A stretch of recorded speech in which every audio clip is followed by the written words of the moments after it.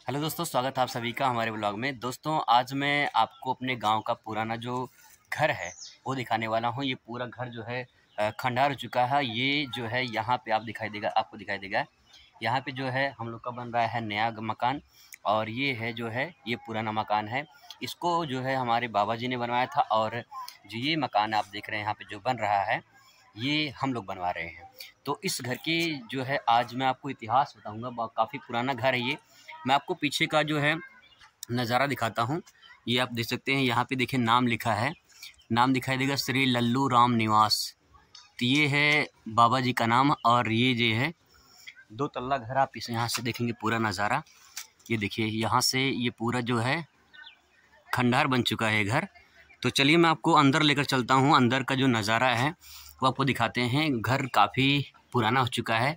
और ये घर पूरा खंडार हो चुका है। लोग, गाँव के जो लोग हैं, इसे भूत बंगला के नाम से जानते हैं।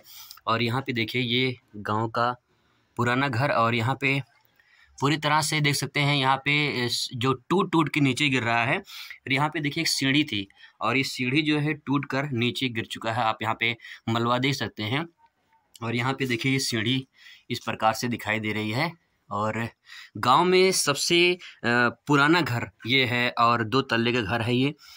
इसकी दोस्तों सबसे बड़ी बात यह है कि ये जो घर है, अब ये ऊपर से टूट टूट के गिर रहा है। यहाँ पे देखिए, ये पूरा जो है मलबा दिखाई देगा। यहाँ पे देखिए खिड़की बनी हुई है।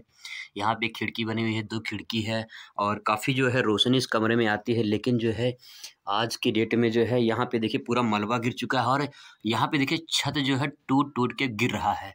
ये काफ़ी जो है ख़तरनाक है, क्योंकि अब जो है ये पूरा जर्जर हो चुका है मकान। बहुत पुराना मकान है, तकरीबन मान के चलिए कि सत्तर अस्सी साल पुराना मकान है। बाबा जी ने बनवाया था और ये बहुत ही पुराना घर है, जो कि गाँव में सबसे पुराना घर माना जाता है।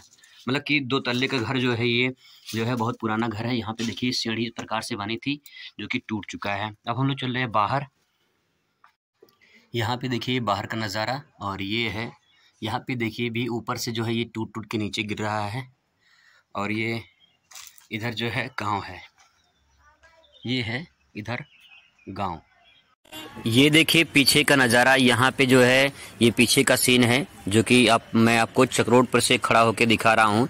ये पीछे का सीन देख सकते हैं, दो तल्ला आपको घर दिख रहा है और सामने देखिए नया घर दिख रहा है। तो ये देखिए गाँव का ये रोड है और ये जो है इस तरफ़ जो है हमारा घर है। तो ये देखिए, जो है पुराना घर ये सबसे पीछे का सीन है।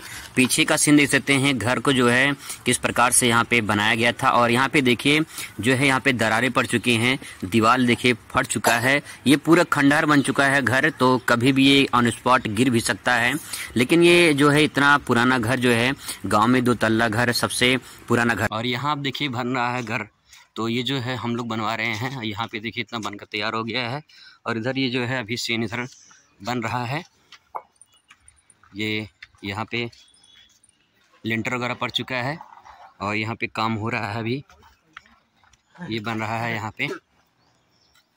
क्या हाल चाल बिरजू ठीक ठाक? ये शौचालय का गड्ढा बन रहा है यहाँ पे। ये बहुत ही साइड में किनारे घर है और गाँव से थोड़ा बाहर है, लेकिन बहुत ही इस पूरे घर को यहाँ से नज़ारा देखेंगे तो ये दो तल्ले घर यहाँ पे और सबसे पुराना घर गाँव का माना जाता है। आज के डेट में खंडार हो चुका है ये घर। तो दोस्तों, ये देखिए, ये घर जो नया बन रहा है और ये घर जो है जो पुराना जर्जर हो चुका है आज के डेट में। तो ये गाँव का एक छोटा सा तो ये देखिए, गाँव के छोटे छोटे बच्चे यहाँ पे आ गए हैं। वीडियो शूट हो रहा था तो इन लोगों सोचे कि हम भी वीडियो शूट करवा लेते हैं। तो काफ़ी प्यारे प्यारे बच्चे हैं यहाँ पे, देख लीजिए। ये सब बच्चे हैं, बड़े होकर जो है वीडियो अपना जब देखेंगे तो कहेंगे हम भी जो है यहाँ पे वीडियो शूट करवाए थे। तो ये नया घर जो बन के तैयार हो चुका है और वो दिखे जो पुराना घर है। तो ये छोटा सा वीडियो था। मिलते हैं इस वीडियो में। Thanks for watching